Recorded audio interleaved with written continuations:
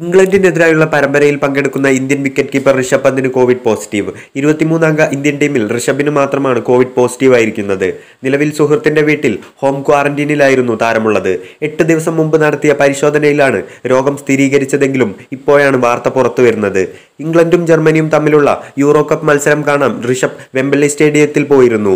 Mask പോലും വെക്കാതെയുള്ള ഋഷഭിന്റെയും സുഹൃത്തുക്കളുടെയും ചിത്രങ്ങളും പുറത്തു വന്നിരുന്നു. ലോക ടെസ്റ്റ് ചാമ്പ്യൻഷിപ്പ് ഫൈനലിന് ശേഷം ഇരുപത് ദിവസത്തെ ഇടവേള ലണ്ടനിൽ ആഘോഷിക്കുകയായിരുന്നു ഇന്ത്യൻ താരങ്ങൾ. ശ്രീലങ്കൻ പരമ്പരയിൽ പങ്കെടുത്ത ഇംഗ്ലണ്ട് ടീമിന്റെ ഭാഗമായ ഏഴ് പേർക്ക് കോവിഡ് പോസിറ്റീവ് ആയിരുന്നു. ഇതിന്റെ ആശങ്ക നിലനിൽക്കെയാണ് ഋഷഭിന് കോവിഡ് പോസിറ്റീവ് ആയിരിക്കുന്നത്.